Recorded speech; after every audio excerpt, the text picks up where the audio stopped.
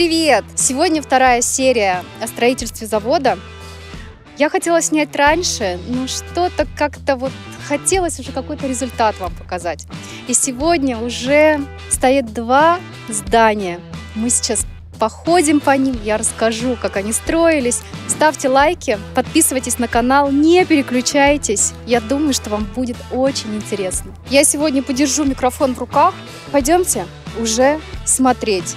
С предвкушением, с радостью, вдохновением покажу вам сие творение. Всю эту стройку потихонечку снимали вы видели в Телеграме. Кстати, если еще не подписаны на Телеграм, подписывайтесь. Там я часто говорю. В Инстаграме я показывала. Ну а сейчас и на Ютубчике. Строительный ветер, строительный мусор. Но я наряжалась. Кстати, сосны живы. Я считаю, что если они дают нам такую радость и остаются живыми, это большое счастье.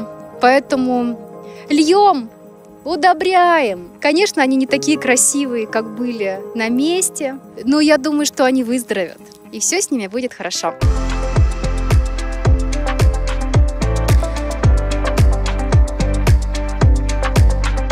Пока дорога в камнях, позже мы вот эти плиты выложим. Но из огромных плюсов из-за того, что не было вот этой дороги, и здесь было бездорожье, просто суглинок, нам пришлось покупать кусочек земли. Это были финансовые затраты, но они были равны, ровно равны вот этой дороге, которую мне нужно было тогда в тот момент делать самой. Потому что все, кто здесь будущие строители, они не соглашались это делать сразу. Но, пойдемте покажу. Дорогу сделали. Вот сейчас, на настоящий момент, в сентябре дорога была уложена. И это, конечно, большой плюс. Я не знаю, сколько это мне будет стоить, но это будет а, моя только часть и доля. И поэтому у меня сейчас две дороги, что очень круто. Могут а, фуры заезжать и выезжать, не разворачиваясь. Следовательно, я могу занять внутренний участок а, своего пространства и оборудовать его таким образом, чтобы у меня не было большой лишней площади для разворота фур. Мне кажется, это очень круто, и я, в принципе, могу еще один производственный комплекс в будущем сделать.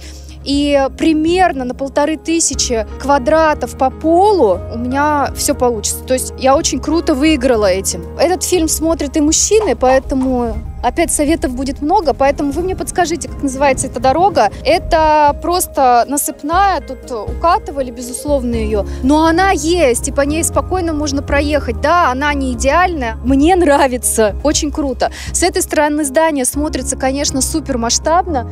А, получилось итого от земли 14 метров, по земле, по внешней стороне 17 метров. Это много. Пойдемте дальше. Трансформаторная будка. Наконец-то мы ее поставили. Долго выбивали мощности. Мощности у нас официально подтвердили. Вы как раз вот видите сейчас, как э, укладывают кабеля, и уже все мощности подведены к зданиям. Я тоже очень этому рада, потому что мы переживали, как мы войдем в зиму без электричества. Но получилось. Что не получилось, кстати, в этом году с газом, поэтому нам пришлось покупать ТЭЦ небольшую, которая может в ремонтном варианте поддержать здание зимой.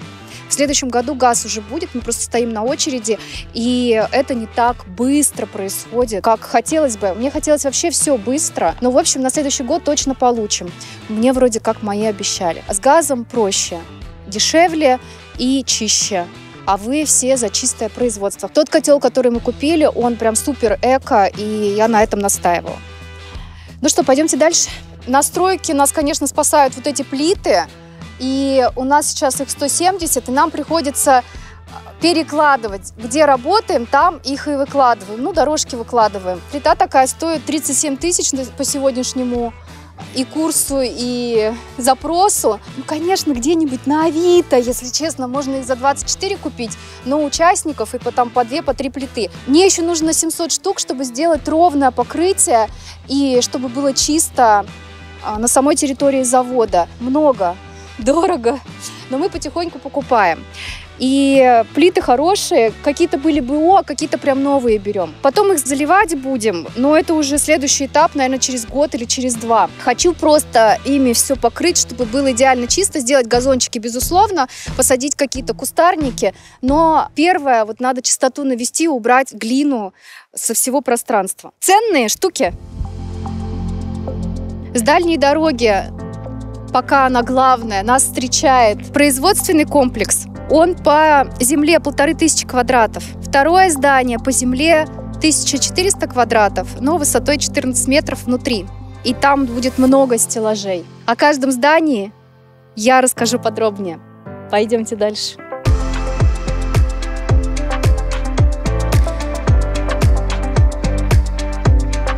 Производство мы его э, сертифицируем по GMP и строим по этой системе. Сегодня как раз э, специалист GMP приезжал и его обмерял.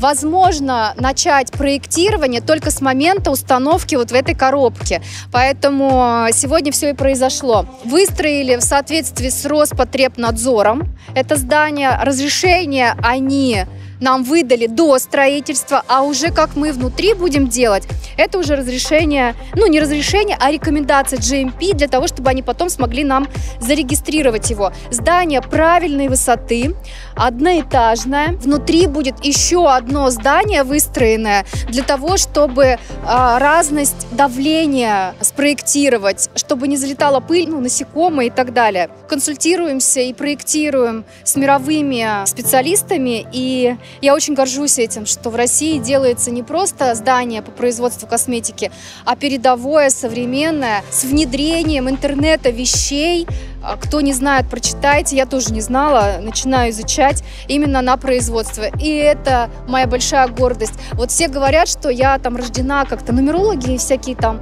что я человек, который создает. От ощущения кайфа живу, что я делаю что-то значимое. Для меня это значимый проект в бьюти. И я своим примером доказываю, что амбиции, планы, желания, они вполне реализуемые.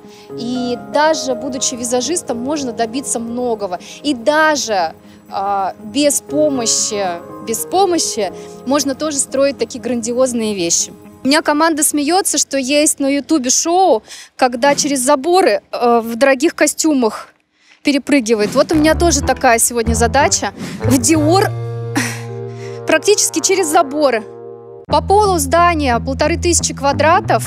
Пока выстроена только коробка, начали делать потолок. Через месяц уже все здесь будет сделано. И тоже подготовим пол, и, возможно, зимой тоже его уже зальем. Но внутри мы будем делать все весной, потому что проект э, будет утвержден в течение четырех месяцев.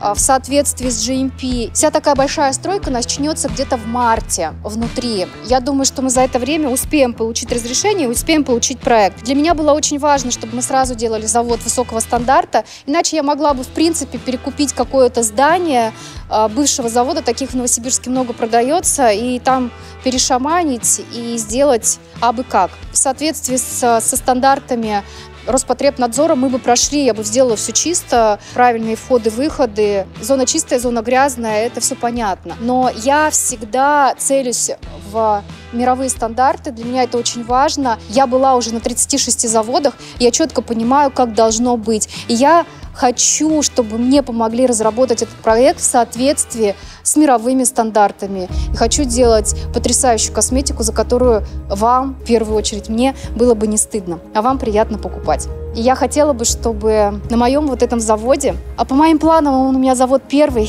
я хочу еще. Я разошлась. Делали мои коллеги себе классную косметику, создавали свои бренды. В общем, вот такие планы. Мурашки, правда? Два года назад эта идея зародилась, и вот уже во что она вылилась. Я каждый раз вам говорю спасибо за то, что выбираете бренд, за то, что вы его покупаете, поддерживаете. И здесь ваш вклад. Вот каждого из вас. Я очень вас за это благодарю. Надеюсь, что после увиденного вы тоже будете гордиться. Кстати, вот эту землю я купила год назад, и мы отмечали покупку. И даже тогда я еще не верила, что будет что-то даже похожее.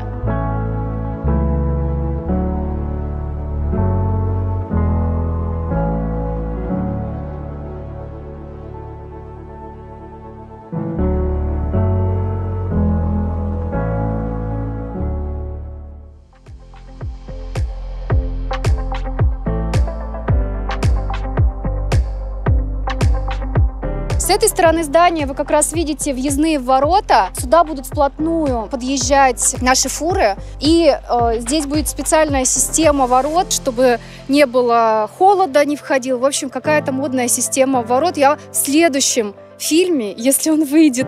Обязательно об этом расскажу. А теперь пойдемте вовнутрь. Вот видите, как раз а, укладываются уже плиты ровные. Вот эта вся площадка будет ими замощена. Мы сейчас э, в первом здании, которое самое высокое. Здесь будет склад нашей готовой продукции, склад футляров и упаковки. На сегодняшний момент это те объемы, которые нас, в принципе, устраивают. И по форкастированию мы точно понимаем, что примерно на два года нам точно вот этого здания будет достаточно. Ну, по крайней мере, в Новосибирске. Я не знаю, что дальше будет в Москве. Вот эти металлоконструкции, они особенные. Их под нас специально создавали. Их 36 штук, таких огромных, 140 тонн они весили. Настолько прочные, что мы с огромным трудом в них винчивали сэндвич-панели. И нужно было сначала просверлить, и это было непростое дело, а уже потом закручивать сэндвич-панели. Вот второе здание, там высота меньше, и там нагрузка на металлоконструкции меньше, они немножко тоньше и не такие прочные, поэтому там быстрее было. И вот очень долго было именно обшивать из-за высоты, толщины у нас уже птички тут. Следующий этап, который был достаточно долгий, это вот этот пол. Мы насыпали метра три, 440 КАМАЗов вот этой глины, чтобы пол был ровный. Как только мы закроем на зиму, закончится внешняя стройка, мы перейдем вовнутрь зимой и будем здесь заливать пол. И, возможно, зимой уже будем это помещение использовать как склад, потому что мы арендуем в Новосибирске уже больше полторы тысячи квадратов под склад, и это тоже полторы тысячи, и нам зачем там тратиться, когда мы сейчас силы вкладываем, до зимы делаем это под ключ уже здание, и уже это здание у нас будет работать зимой. Давайте внутри посмотрим вот эту стену. Здесь подведены коммуникации, видно вот эта высота ленточного фундамента. Она по всему периметру огромная. Господи, сколько еще денег на пол нужно мне заливать? Мне кажется, если пятитысячной бумажкой все выстилать, будет та же сумма. Я шучу. Хотя следующий блок это окна. Они кажутся очень маленькими, но они огромные. По сути, вот в этом здании осталось внешне закрепить это ворота и окна. Окон много в пространстве. Я без них не вижу существования. Мне кажется, окна должны быть. Совсем скоро здесь будут огромные стеллажи до потолка, 14 метров. Ездить погрузчик, который будет развозить косметику, шик по полочкам. Наверное, в следующей серии я, конечно же, вам покажу, как я здесь все обустрою. Сэндвич-панели сделали по всему складу. Утеплили потолок, потолок тоже выставили. И сейчас закрывают швы, пенят их и закрывают планками, тоже вот в этом же оттенке окрашенными.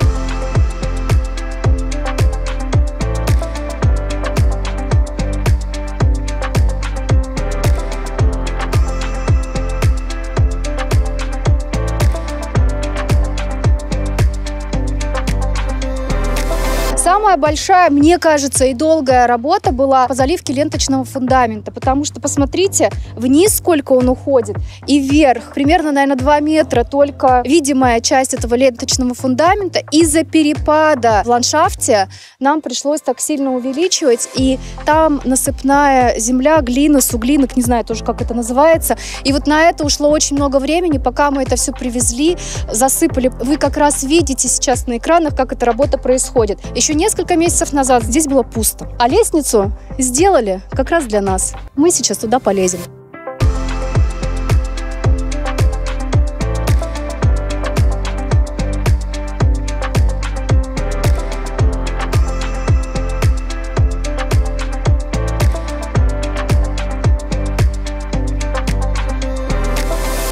Уже на крыше, здесь э, внизу металл рифленый, мы его видели изнутри. Потом на него утеплитель, потом 4 слоя пеноплекса, далее опять мягкий такой синтетический утеплитель и резина. Резину совмещают, друг на друга накладывают сварщиком, который 500 градусов склеивают. Держится очень стойко.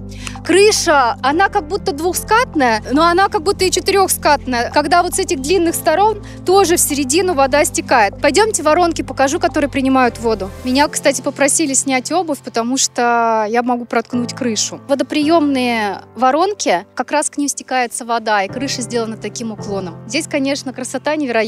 И видно соседей, кто что строит. Вы меня, наверное, осудите за то, что я не владею терминологией. Многого в строительстве не понимаю. Этот фильм я создаю не для того, чтобы козырнуть вам, как я круто, самостоятельно, своими руками строю завод, а показать вам мечты, когда каждый день ты идешь осуществлять что-то невероятное, что-то свое. Деньги, успех и вообще результаты не приходят сразу и быстро. Это только в волшебном успехе в Инстаграме. Все добивается маленькими ежедневными шагами на работе, от которой у тебя мурашки.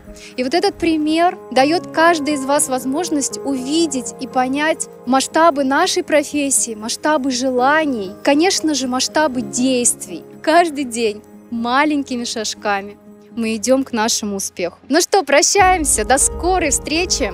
Следующая серия будет еще интереснее. Пишите, чего вам было недостаточно. Подписывайтесь на канал. Переходите в мои социальные сети. Я вас там очень жду. Еще раз вам огромное спасибо за любовь к бренду. Солнце сегодня невероятное. Я вас люблю.